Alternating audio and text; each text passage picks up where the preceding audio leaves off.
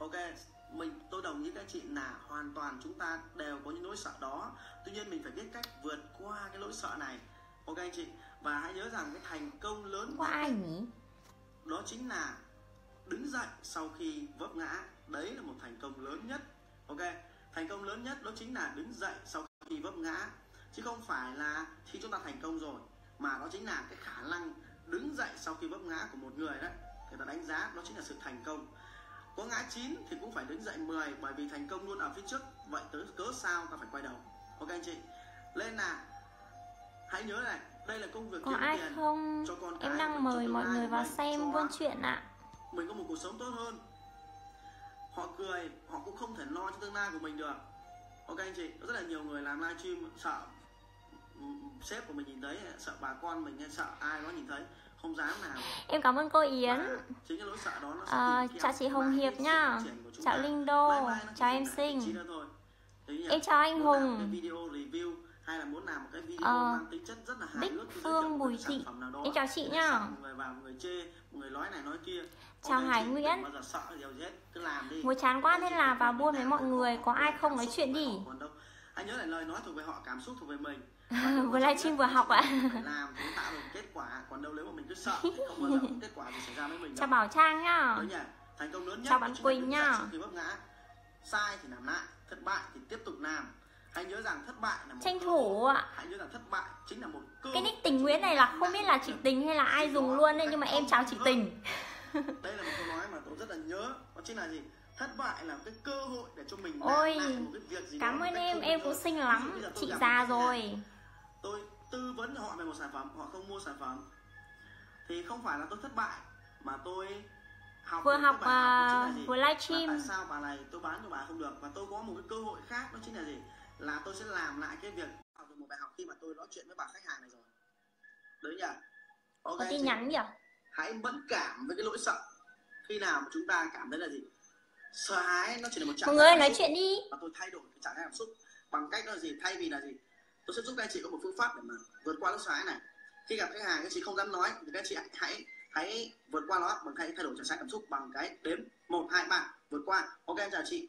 Hãy hãy hãy nhớ rằng hành động càng nhanh thì càng xóa tan nỗi sợ hãi và hành động càng lâu càng do dự thì lại càng sợ hãi. Thay vì là gì? Mình sợ hãi với việc làm livestream, mình cứ chần chừ hết hôm nay, hôm kia hôm kia, ngày mai thì ngay bây giờ bật livestream phát livestream lên không cần biết mình nói được cái gì không chỉ cần cái chị nhe răng ra cười thôi đây đây chị nhe răng ra cười thôi được chưa cũng là thành công rồi bởi vì Đây, thầy, à, livestream rồi thầy à, được chính mình rồi thì đấy là thành công thầy rồi. đang dạy livestream đấy. thế nhưng mà hãy Vừa học vừa mình thực hành. làm tốt hơn khi mình làm nó nhiều lần thôi không bao giờ có chuyện mình làm nó một phát được ngay Nên Để mời thầy vào xem nào. mình Ở đâu doanh. mình cũng không bao giờ thể làm tốt được như người ta đâu nên là đừng có sợ cứ làm đi đấy nhỉ học hỏi từ họ rồi mình cũng sẽ làm tốt thôi chứ không thể nào mà mình nhảy vào kinh doanh này mình sợ là để em tự ti em này kia không. Tự ti rồi mình cứ làm đi rồi mình sẽ được chứ bây giờ mình cứ tự để em thì một tí nha em đang mời mọi người cái vào xem. Không. ok khi mình làm có thể thất bại thành công nhưng không làm cái không có kia máy tính đang nghe thầy Phải à, làm, thầy giảng. Phải làm thất bại kệ nó thất bại tiếp tục làm. Làm cho đến khi thành công thôi làm bằng được thôi. Tư duy của người thành công là gì? Làm bằng được thì thôi chứ không phải làm này không làm được tháng này bỏ cuộc rất là nhiều người mới tham gia kinh doanh như vậy. Có được có lửa một năm dăm bữa nửa tháng đã bỏ cuộc rồi. Cái tư duy đó không phải thành công được. Công việc nào cũng có thời gian thử việc. Ít nhất là nửa tháng một tháng. Học việc người ta thử việc ngoài kia mất 2 năm đi làm thử nghiệm. Chào chị Thắm nha. Em chào chị Oanh. Chào chị Phương Thảo. chị Phương Thảo ơi tí nữa em dạy tin nhắn của chị nhá. ok chị nên mà tôi mới đăng Chào status Sinh. hay đó gì đường tăng còn phải vượt qua bởi hai cái phép lạ thì mới lấy được kinh vốn gì chúng ta Thomas Edison là một nhà phát minh vĩ đại mà ông ta phải vượt qua một nghìn phát minh thích thất bại thì ông ta mới tạo ra được cái bóng đèn mà chúng ta em chào chị Hiền. mới có một chút thôi đã, đã làm được làm sao mà mà, mà Thật ra thì livestream cũng không biết nói gì đâu. ờ, cứ like à, cứ, cứ phát trực tiếp vậy thôi. Bất chấp sự hoàn hảo. Có ai vào đây nói chuyện đi. Ok vượt qua nó sợ hãi bằng câu nói đó chính là em ơi nói tiếng Việt Nam đi chị không hiểu tiếng nước ngoài. làm kệ nó như nào cứ làm đi ạ mình làm mình biết được rồi đấy là đi số 6 sợ. Nát quá nhỉ số 6 đấy có anh Thành trong đây này. Một loại nhắn tin tôi bảo là thầy ơi có hai vấn đề muốn hỏi. Thứ nhất em chào chị Trinh Võ. làm công việc kinh doanh online thì bây giờ phải xử lý thế nào? Thứ hai đó chính là có một khách hàng người ta đòi nợ 900 900 nghìn mua sản phẩm thì phải xử lý như nào ok anh chị. Không phải cái việc kinh doanh online đâu.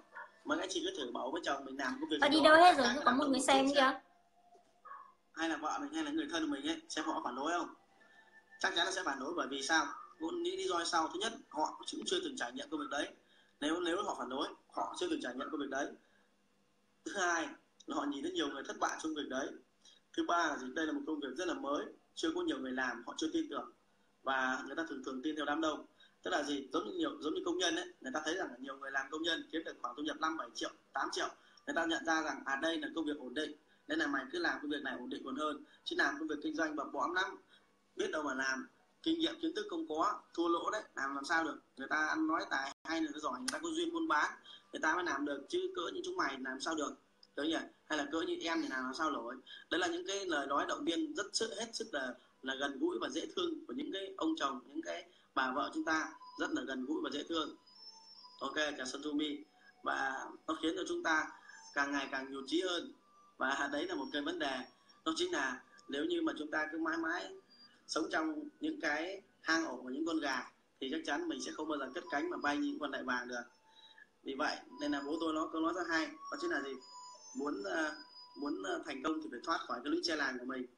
Hãy khác tư duy của những cái người như vậy người xung quanh chúng ta thực ra họ bảo vệ giờ này mọi người đi đâu ấy? Như đi hẹn hò hết rồi sao ấy? Chồng em phản đối em nhưng đến lúc không có tiền là xin em. Đúng rồi. Đấy là một cái điều đấy từ khi bán online thầy là người đầu tiên và cũng là người thầy truyền kinh nghiệm và năng lượng cho em. Ok tuyền. Cố gắng lên em ha. Nhất định mình sẽ làm được. Khi mình sinh ra khi mình nghĩ nhiều người đã thành công thầy thì nói chung. Ok rất là nhiều người khi mà mình mình mới bắt bước, bước tôi đã tôi có một cái này mà muốn chia sẻ với anh chị đó chính là mình phải đánh giá được cái nguồn lực của bản thân mình. À. khi mà có rất là nhiều người mới tham gia kinh doanh online đấy mình hay thường thường so sánh mình với những người rất giỏi và mình bảo là ô họ rất giỏi họ làm được chứ em làm sao được? Ok hãy nhớ rằng họ giỏi thì họ đã mất bao nhiêu thời gian để họ trở lên giỏi như vậy? Và mình như vậy mình khi mình đặt ra câu hỏi mình phải biết được khoảng thời gian để họ trở lên giỏi. Mà bản thân mình như vậy mình phải đánh giá được cái nguồn lực của chính bản thân mình. Mình đã làm được gì mình có cái gì? Đấy nhỉ ví dụ mình mới tham gia mình chưa biết gì về facebook mình chưa biết gì về đăng bài mình phải học những cái đấy là cái đầu tiên. Và mình càng biết được mình yếu ở đâu mình hoàn thiện càng nhanh cái đó thì mình sẽ càng nhanh thành công hơn. Phải biết đánh giá được nguồn lực chính bản thân mình nhá. Chứ không phải là đi so mình với thằng kia thấy là ôi chị nó nó làm nó, nó nói tốt nó làm livestream tốt lắm. Em em em không khả năng nói em không thể nói được như nó.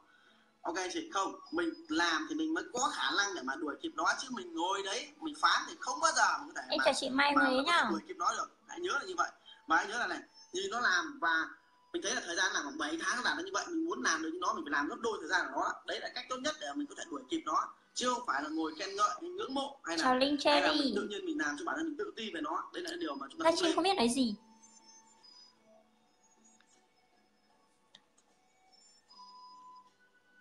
Em muốn làm lại bảng mà loay hoay mãi như con ốc sên. Bởi vì em đang nghĩ là em là ốc sên nên em em em sẽ sẽ là ốc sên đấy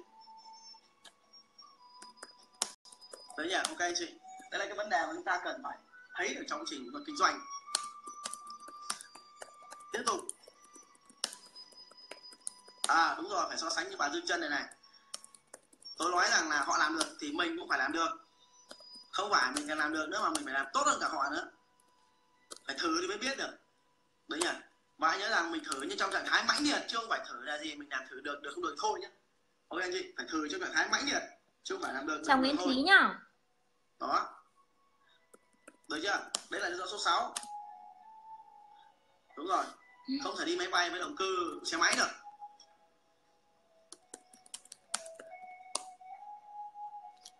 Hello bà cô già em chào chị Hằng. Lê. Mọi người nói chuyện đi buồn quá. Lý do số 7 này là tôi muốn nhắn mọi người nhủ đi đâu hết rồi ý? những người được gọi là con mọt sách. Đó chính là học xong không làm. Số 7 ok xin chào áo dài. Số 7 là học xong không làm số 7 học xong không làm. Sao mọi người chỉ xem mà không thể nói gì đi nhở? Nhưng mọi người ghét em hay sao ấy? Xin chào Trần Phú. Số 7 đó chính là học xong không làm. Có rất là nhiều những cái bài học có rất là nhiều những kiến thức mà các anh chị đã được học và đã được trải nghiệm qua. Tuy nhiên là chúng ta không học và chúng ta học xong chúng ta không làm. Em chào mọi người. đó chính là cái cốc nước này này. Khi mà chúng ta trở thành một cốc nước và được hôm nay livestream nói chuyện thôi mà chả thấy ai nói chuyện cả. Ngày kia em sẽ làm mini game nhá, mọi người. Mọi người vào ủng hộ em nhá. Thể lấy chơi cực kỳ đơn giản luôn. Ngày kia ngày kia em sẽ chơi mini game tặng quà mỹ phẩm và thuốc ạ. khi mà mình đưa những kiến thức của mình vào mình hành động ví dụ như Anh Hùng ghét em à? nay nếu mà ghét nhiều sao tương tác nhiều càng tốt. Mình nó mãi cứ nè đẹp mình không có tập trung. Mình ờ, không có huấn luyện viên mình không duy trì được cái nguồn năng lượng. Em cho chị hàng chậm nhỏ đổi, mình ờ, sợ thất bại. Mình học xong mình không có làm. Ngày kia em có chơi mini game nhá. Hôm nay à, báo trước ngày mai lại báo ngày kia em lại báo tiếp. Em chào chị hoa. cái gì à? Chị chị chị dâu à? chị dâu đúng không? học xong ok tôi cần phải tìm cho mình một người huấn luyện viên và càng nhiều huấn luyện viên Chả thấy ai nói chuyện cả. nhưng mọi người ghét em hay sao ấy. Giúp các anh chị có giúp các chị thành công. Ok thì đấy là cái mà chúng ta học xong ra áp dụng làm thì nó có ba huấn luyện viên mà Mini chó bà đây nói chuyện đi. thầy. Thứ ba là bạn. Ok bạn bạn đồng nghiệp của mình ấy và người bốt của mình. Nhưng hãy nhớ rằng bạn đồng nghiệp và người bốt phải là người xuất sắc. Thì mới xứng đáng là người huấn luyện viên của chúng ta.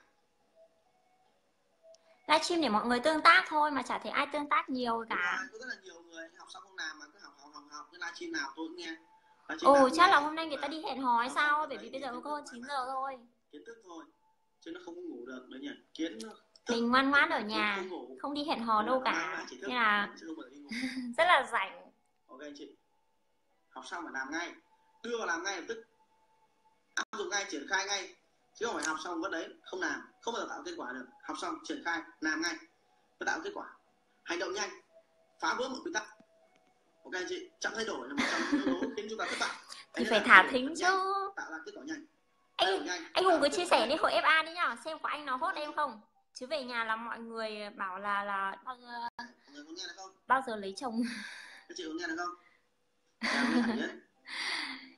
Ôi được chị Hoa khen xinh ờ, thích quá. Thế thì chị cứ ngắm em đi. Ok anh chị. Em cứ để cho mọi người ngắm thôi.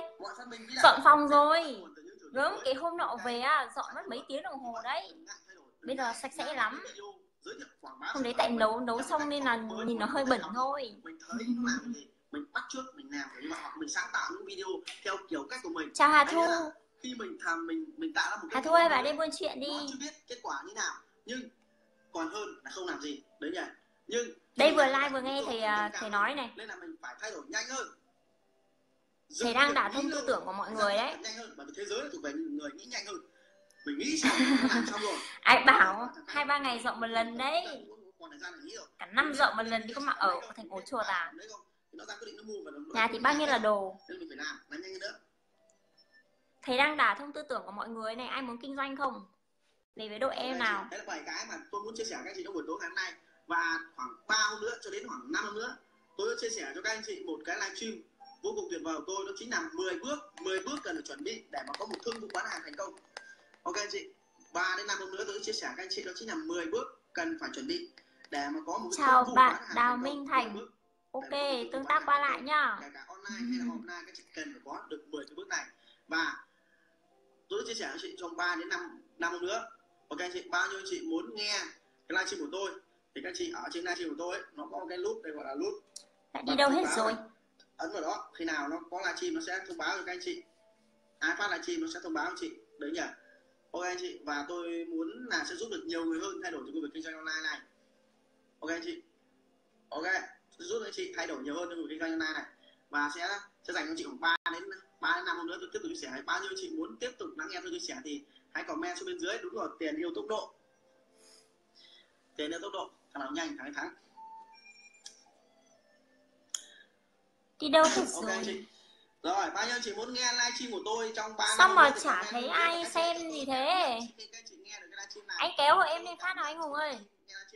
anh nhớ rằng một câu nói mà tôi luôn ghi nhớ. Có những câu nói phải luôn luôn ghi vào trong đầu mình này. Đó chính là nhưng mà giờ này mọi người đi Là đâu hết rồi ấy. đầy lỗi sai thì không bao giờ có chỗ trống cho những giờ này em tương tác tốt lắm mọi người tương tác với em nhiều lắm. buông tao ra. Và hãy tiến đến cái mục tiêu của mình để đạt được mục tiêu của mình? Toàn những cái bạn à, thực ra mình mình mình cũng chưa mình chưa quen ấy. Cũng toàn là bạn bè trên facebook thôi. mình cảm mình ơn mọi người rất nhiều. mọi người đang tương tác cho em. Chưa bao giờ mình viết cái kế hoạch làm việc thì mình phải viết ngay kế hoạch làm việc. Yêu mọi người mình nhiều nhiều. thì mình phải thay đổi mình phải làm ngược lại tất cả những thứ mà mình đang làm khiến cho mình chưa thành công. Làm ngược lại hết tất cả mọi thứ để mình thành công nhanh hơn. Mọi người đi đâu hết rồi? Mọi người đi hẹn hò hết rồi à? hết ra. Đừng để nó bám vào người mình bất cứ một cái gì. Chị Thi ơi vào đây buôn chuyện nào và hãy đừng có suy nghĩ nhiều quá về những cái lời phản đối ui, tiêu cực hay là một cái lời ui. đó khiến cái chị nặng đầu đầu mà không thể đi phía trước được. Cái đầu nặng đôi chân không thể tiến được. Đừng quan tâm đến nhiều khác đến nói gì chúng ta. Hãy quan tâm đến mục tiêu của mình. Hello chị Thi. Xin chào mọi người. Ok Đân Vũ hôm nào học tiếp ở nhóm Hoàng Anh thầy mọi người tương tác với em đi ạ. à. Đến đúng rồi chị ạ em đang tranh với thầy nói đây. thầy nói vào một cái em em livestream vào một cái đây. Mơ. Ok chào mơ. Ôi chị quái kìa uhm... quyên quyên ha ha. Cười à? Thôi em chạy về Hà Nam đây chị Thanh ơi bà cứ gặp em một phát là bà kêu bà đòi ô. Khi nào mình còn sợ tức là mình sẽ còn nợ. Sẽ còn phải nợ đấy. Bởi vì nếu như mình không dám vượt qua lỗi sợ hãi thì mình sẽ còn phải nợ. Phải vay nợ nhiều nữa. Anh Hùng ơi có chị Hoa làm chị dâu với thầy. Ok. Nhanh nhanh bảo bạn kia hốt đi. Ok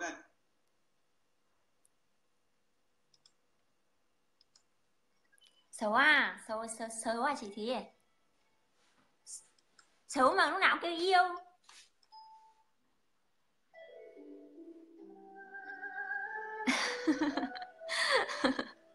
À, cầm cầm cái ô của bà ấy từ hôm nọ đến giờ á ngày nào bà cũng đòi. Bà quái. Ấy. tôi muốn các chị à, để mà mà không không gặp được để mà trả? Nhà mấy cái ô liền chẳng dùng đến có khoảng 120 người đang còn Hello Thủy. Thank you. tôi tin rằng là các chị rất Chả yêu. Lại còn chối. Rồi đến lúc gặp nhau để hôn hít túi bụi lên. nó không đạt được như mình mong muốn. Mà không biết là mọi người nghe giọng em ở trên điện thoại thế nào đây? Em cũng chẳng biết luôn ấy. Mình hãy ờ, nhiều lúc em quay video mà cảm giác như là giọng nó nó cứ làm sao ấy. Mà mọi người kêu là hay. về tất cả những cái điều mình làm và hãy tắt hết chị Thi ơi về Hà Nam với em. Hãy tắt hết mạng đi. Tắt hết mạng ừ hay là thế nhở? Ship về cái ô ra đấy khoảng 40 nghìn. từ từ mình ra bà ấy. điều gì đó nó làm phân toán tư tưởng của mình. Mình hãy suy nghĩ và cái điều mà mình thực sự muốn ở cuộc sống này là cái gì. Mình đang làm việc vì điều gì. Và nếu như mà mình cứ làm như này thì khoảng một tháng nữa liệu rằng công việc kinh doanh của mình nó có thay đổi được hay không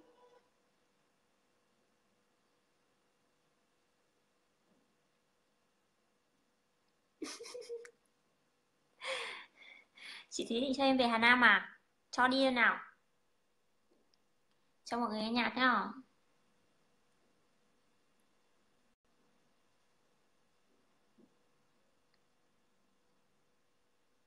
Mọi người đang làm gì đấy? Cái gì nhỉ? Phải bài gì nhỉ?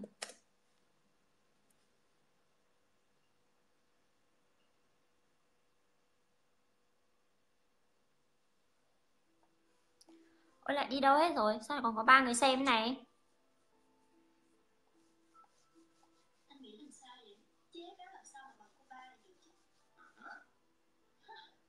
Ui, em mà hát thì á mọi người chạy hết chị Thi ạ. À.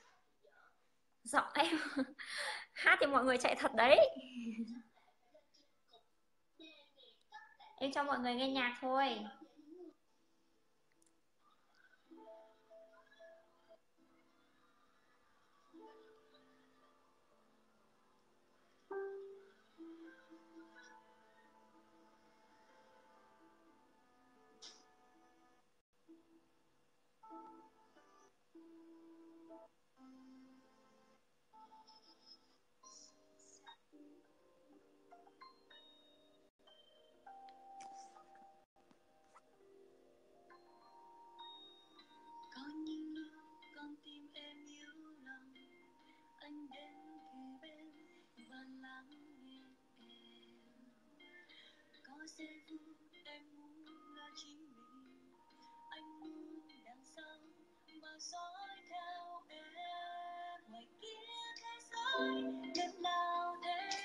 đã đi đâu hết rồi?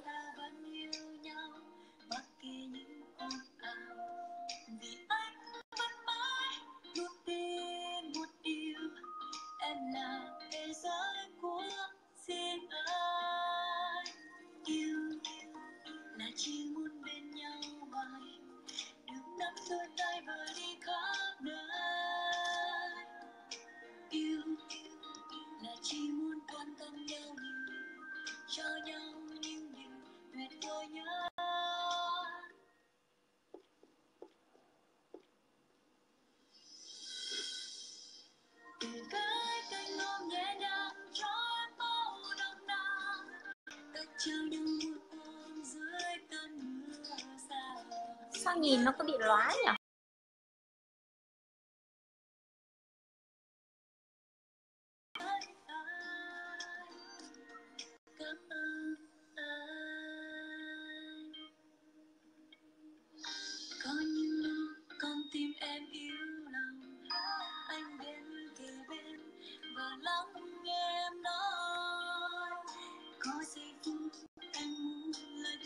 Ông đi đâu hết rồi?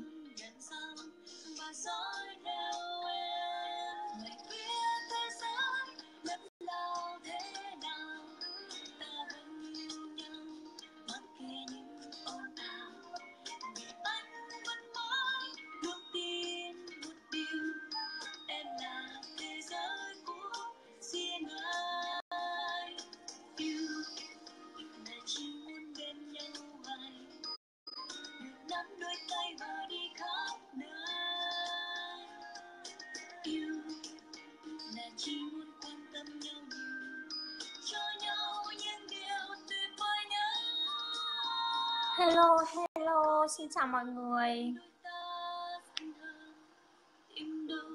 Sao nhìn nó có bị lóa nhỉ?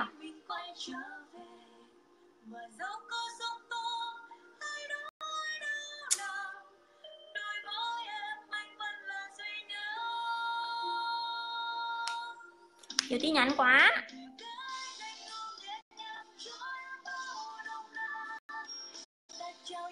Mọi người đi đâu hết rồi? ý sao nó